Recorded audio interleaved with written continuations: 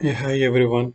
Today we discuss about the logic uh, role templates that uh, we have. What are the role templates that how it will help to trigger the workflow. Basically, in order to go to uh, the role templates maintenance, you need to go to slash opt slash cp underscore 9cxt. And if you see the definition, template definition, basically we have a three uh, types of templates that will help to trigger the workflow. First one is a function model based. Function model based in the in the sense if if you see here the role slash opt slash pl underscore role receiver it, it this this the you know function model which will decide to get the relevant role. So this the one of the criteria i mean one of the method that to trigger the workflow. The another one is org unit.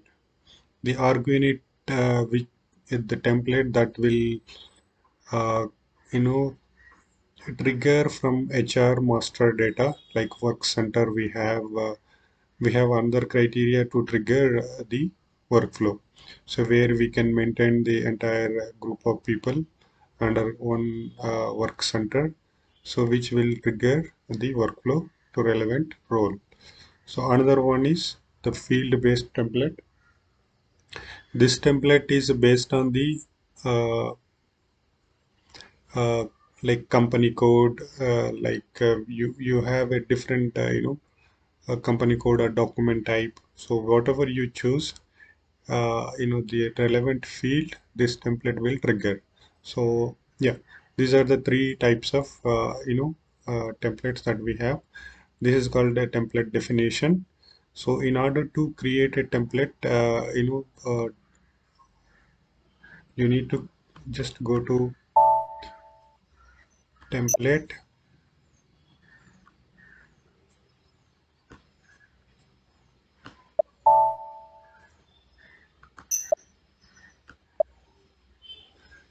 so you first need to create a template definition.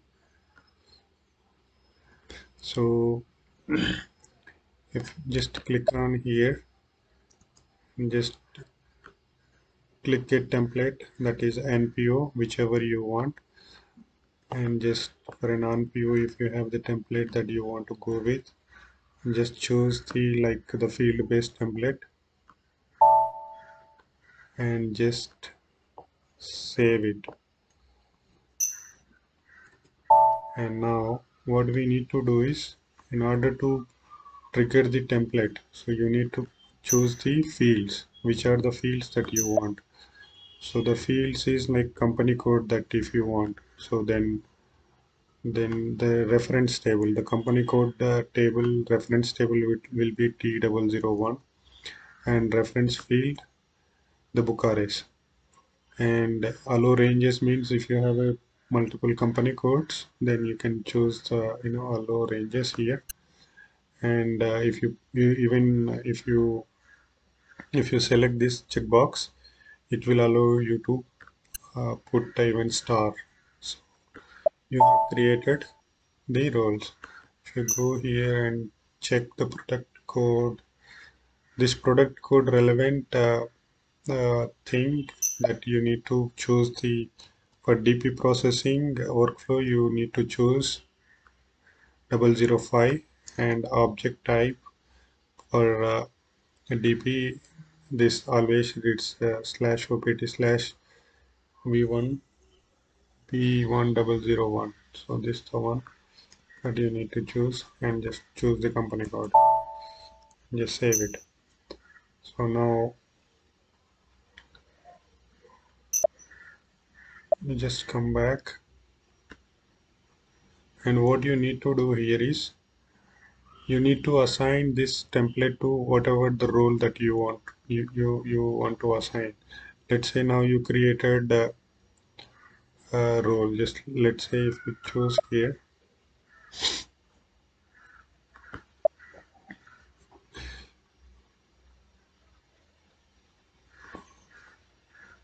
let's say you have the company uh, responsibility uh, you know party that is uh, AP processor or let's say if AP processor 21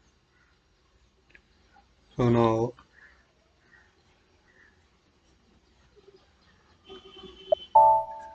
so now you want to assign the template that you have created. What template you have created? That is NPO 1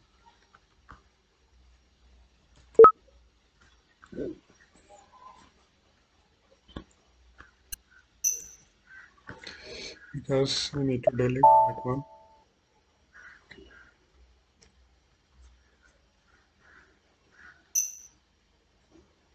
So where we we assign the template uh, you know over here to relevant uh, responsibility party whatever role which we create then we assign this uh, template id that we created.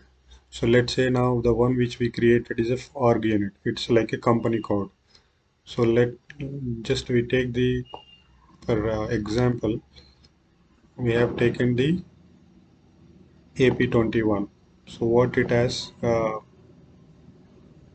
let's say definition if you go here.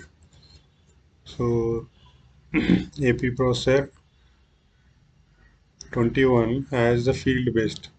So field based means if you see the one which we created the field based is nothing but T001 and BUKRS. So now if you go into a role so how it triggers? If you go to the go back and check the role maintenance in the sorry in the simple 9cx4 and go to the AP process 21 so now you see here the company code whichever company code you want to choose you can choose. And you can assign the you know the relevant id this is the just a, you know this is for uh, field based template. This is a field based template. Let's say if you go to check and this this is for uh, org data. So this means this is coming from hr uh, you know uh, master data. So if you go here hr master data you will be having like a work center and role and job. These are all you know position and user. This the data which you maintain in ppome so this is the one kind of uh, template that will help to trigger the workflow. And as i said uh, the other uh, thing just let's uh, check uh, the function model based there must be one in the function model based it will be in there in the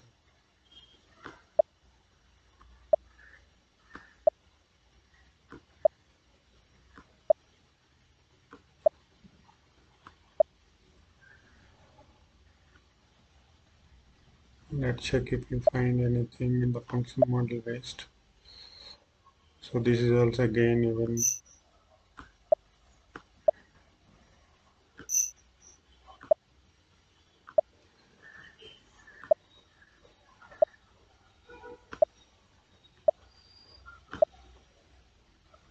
okay.